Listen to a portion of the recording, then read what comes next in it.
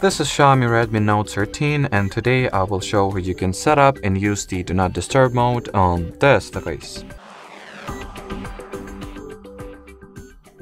So to start you will need to launch settings. Then here find and enter the sound category, or sound and vibration to be exact. Then scroll down, find the Do Not Disturb mode, open it. Here is your DND or Do Not Disturb mode settings. In order to enable it or disable it respectively, use this toggle here.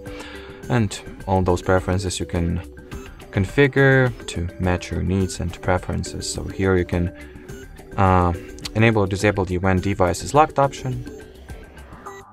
Set up the phone calls uh, exceptions. Decide whether you would like to be notified about repeated calls and well set up the automatic schedule for it for the DND mode I mean. So that'll be it for this video. Thanks for watching and bye bye